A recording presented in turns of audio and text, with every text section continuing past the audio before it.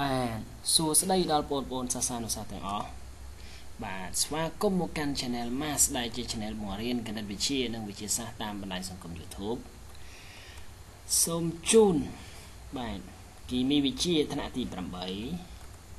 បាទជំពូកទី1ទ្រឹស្ដីម៉ូលេគុលអាតូមមេរៀនទី1អាតូមនិងម៉ូលេគុលបាទភាគទី2 ចឹងសម្រាប់ថ្ងៃនេះយើងចូលទៅដល់ភាគទី2ហើយឬក៏ម៉ោងទី2ណាបាទអឺម៉ោងទី2ថ្ងៃនេះគឺយើងរៀនអំពីលំហាត់យកតែម្ដងបាទអញ្ចឹងសម្រាប់លំហាត់ទី1គឺសួរថាតើមានអាតូមប៉ុន្មានក្នុងម៉ូលេគុលបាទ H2S បាទខ P2O5 កូ HCN បាទខ MgCl2 បាទ តោះឥឡូវយើងមើលយើងមើលក H2S អញ្ចឹងតើនៅក្នុង molecule H2S នេះបាទដែលយើងឲ្យឈ្មោះថា hydrogen sulfur ក៏បានដែរឬក៏ acid sulfhydric ក៏បានដែរបាទតើវាមានអាតូមចំនួនប៉ុន្មានបាទអញ្ចឹងដើម្បីដឹងថាវាមានអាតូមចំនួនប៉ុន្មានយើងត្រូវមើលលើអក្សរណាអក្សរមួយអក្សរធំមួយតួគឺតាំងឲ្យអាតូមចំនួន1 បាទឥឡូវយើងមើលនេះអានេះហាសហើយនឹង s ធំដូចគ្នាអញ្ចឹងមានន័យថាហាសមួយធាតុ s មួយធាតុ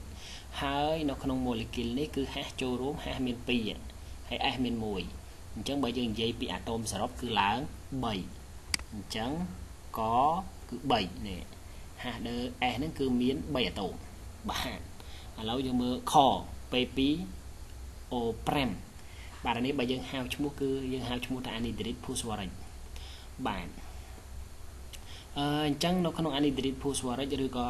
P2O5 នេះគឺមាន P ចូលរួមចំនួន2ហើយ O ចំនួន5អាតូមអញ្ចឹងវាឡើងម៉ានហើយ2ហើយ5ឡើង7បាទសម្រាប់គោ HCN បាទ H មួយធាតុ C មួយធាតុ N មួយធាតុបាទនេះយើងអានថាអាស៊ីត cyanhydric ណាបាទ HCN អឺ អញ្ចឹង H1 C1 N1 អញ្ចឹងសរុបទាំងអស់គឺ3អាតូមបាទចំពោះខូខូ MgCl2 បាទឬក៏យើងហៅឈ្មោះថា magnesium chloro បាទអញ្ចឹង Mg នេះគឺមួយធាតុ Z នេះគឺអក្សរតូចអញ្ចឹងយើងអាចរាប់ទេអញ្ចឹង Mg ហ្នឹងគឺមួយធាតុ Cl គឺមួយធាតុទៀតអញ្ចឹងអានេះមួយធាតុអានេះមួយធាតុបានពីរធាតុហើយដល់ពេលយើងមើលអាតូមអានេះមួយអាតូមអានេះ Cl មានជើង2មានន័យថាវាមាន2អាតូម ចឹងយើងសរុបមកគឺបាន3អាតូមបាទនេះគឺជាចម្លើយទាំងស្រុងនៃលំហាត់លេខ1បាទយើងបន្តមើលលំហាត់លេខ2បាទលំហាត់លេខ2យើងគឺសួរថាតើ2ហេះនេះហើយនឹងហេះដើដូចគ្នាដែរឬទេបាទអានេះហេះអានេះហេះអានេះលេខ2អានេះលេខ 2còn លេខ2គឺសេជើងហើយលេខ2នេះគឺលេខ2មេគុណអញ្ចឹងសួរដូចគ្នាអត់បាទចម្លើយ 2 hash និង hash ដើគឺមិនដូចគ្នាទេព្រោះ2 hash ជាអាតូមបាទកាលណាគេសេ2 hash ហ្នឹងគឺជាអាតូមចំនួន2បាទ hash ហ្នឹងយើងតាំងឲ្យអ៊ីដ្រូសែនអញ្ចឹងយើងអាចឆ្លើយថា2 hash ជាអាតូមអ៊ីដ្រូសែនចំនួន2ឯ hash ដើវិញជា molecule molecule អ៊ីដ្រូសែនដែលបង្កដោយអាតូមអ៊ីដ្រូសែនចំនួន2បាទអញ្ចឹង2 hash នេះគឺអាតូម2អាតូមនេះ ហើយដល់ពេល H2 នេះគឺមួយ molecule hydrogen បាទអញ្ចឹងវាអត់ដូចគ្នាទេអានេះអាតូមអានេះ molecule អូខេបាទលេខ3គេមាន molecule H2 Fe Mg CO NaCl C NaOH H2SO4 តើ molecule ណាខ្លះជាអង្គធាតុតូលនិងណាខ្លះជាអង្គធាតុសមាសបាទ ណែកាលណាគេនិយាយពីអង្គធាតុតូលតូលគឺ1ហើយបើសមាសគឺចាប់ពី2ទៅណាចាប់ពី2ទៅបាទអញ្ចឹងដើម្បីដឹងថាអាណាតូលអាណាសមាសយើងមើលទៅបើសិនជាអង្គធាតុយើងផ្សំឡើងពីអាតូមចំនួនមួយគេហៅថាអង្គធាតុតូលបាទ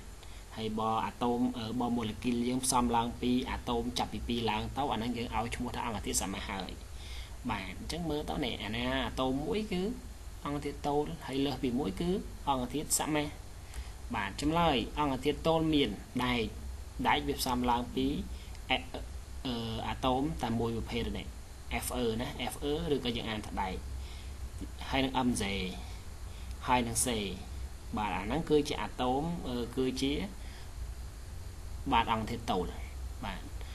សល់ម៉ានគឺជាអង្គធាតុសមាសណាគឺ H2 H2 នេះផ្សំឡើងពីអ៊ីដ្រូសែនចំនួន2 CO ផ្សំឡើងពី C ហើយនិង O NaCl គឺផ្សំឡើងពី Na ជាមួយនឹង Cl ឃើញទេវាមាន2អាតូមអានេះមាន3អាតូមហើយអានេះមាន7អាតូមអញ្ចឹងវាជាអង្គធាតុសមាសបាទនេះគឺជាចម្លើយទី3ឥឡូវយើងមើលទី4បាទទី4យើងពេញតារាងបាទកហាស NO3 តើមានអាតូមចំនួនប៉ុន្មានហាស 1N1O3 អញ្ចឹងឡើង5 ហើយសួរប្រភេទអាតូមប៉ុន្មានប្រភេទអាតូមហាសមួយប្រភេទ N មួយប្រភេទ O មួយប្រភេទទេអញ្ចឹងឡើង3ប្រភេទបាទអឺលេខ2 H2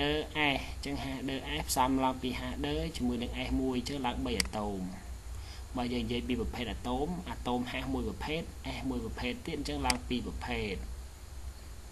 បាទចំពោះលេខ3គឺ H3PO4 តើផ្សំឡើងពីអាតូមចំនួនប៉ុន្មាន H3 P1 4 4ជាមួយនឹងអឺ O4 ទៀតឡើងបាទ8បន្តមកគេសួរថាតើអាតូមវាមានប៉ុន្មានប្រភេទអញ្ចឹងមាន3ប្រភេទបាទចំពោះនេះ CH ហើយ Y អញ្ចឹង CH ហើយ Y បើយើងនិយាយពីចំនួនអាតូមគឺ